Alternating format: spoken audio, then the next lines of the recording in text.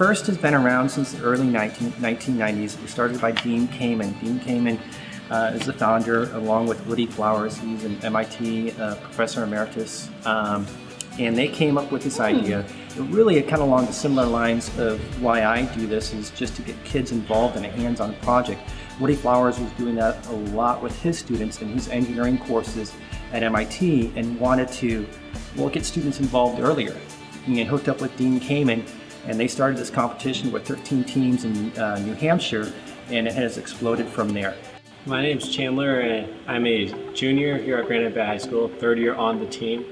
What really inspired me was at my old school, I went to a private school and my uh, math teacher was really involved in programming and stuff like that. And so I knew almost immediately I wanted to do something further on. I saw the robotics club and I saw the perfect opportunity to be able to do it. I'm Hamad. Uh, I'm a junior here at Granite Bay High School and I joined the team as a freshman. This is now my third year on the team.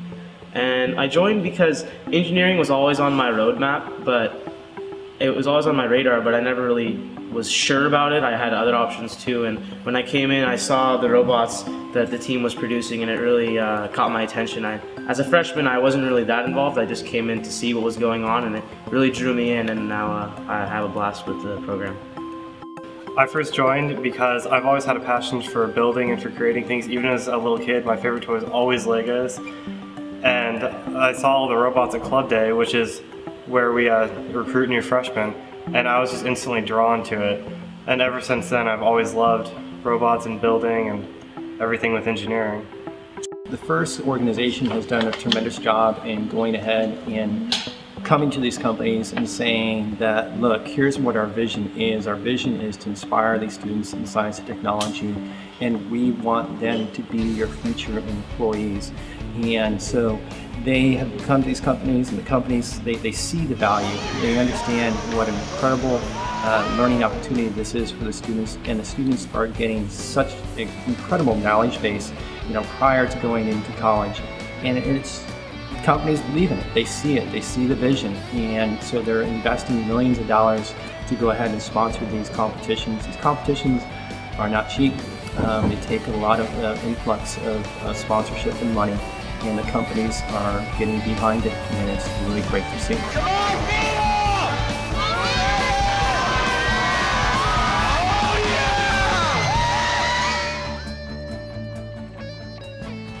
One of the things that FIRST has really tried to get the students to do is to bring new tech technologies on board to help them solve the problem they have for that particular year.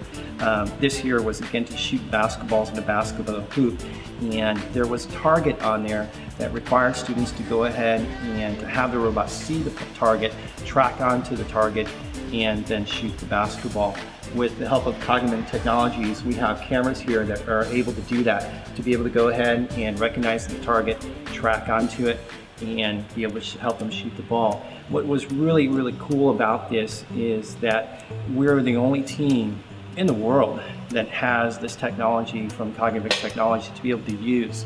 Um, and it was really neat to be able to kind of again, kind of introduce that to a lot of other teams. The teams would come by, the judges would come by, see what we have, and they're very interested in, in how we're using that technology and in a way for them to see maybe, hey, this is also something we can use next year.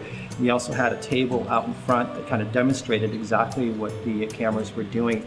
Um, so it really was a cool way for students to see you know, something that's the latest and greatest technology that's out there and how can it be used in the competition at FIRST. Well, my first experience with training the neurons was when we were uh, initially using them to prototype tracking basketball hoops. And I worked with uh, uh, employees from Cognimem who came and helped us out. And I think it was really interesting to see how easy and intuitive it was to train because without any technical knowledge at that time of knowing how the chips worked or anything of that sort, I was able to very easily train and then even watch the cameras track the basketball nets. And I thought it was incredible how easy, intuitive, and user-friendly the programming interface was to use. And that kind of got you guys some kind of award, right? Yeah, actually it did. Um, at UC Davis, we won the uh, engineering award for the use of the cameras because of how easy it was to train.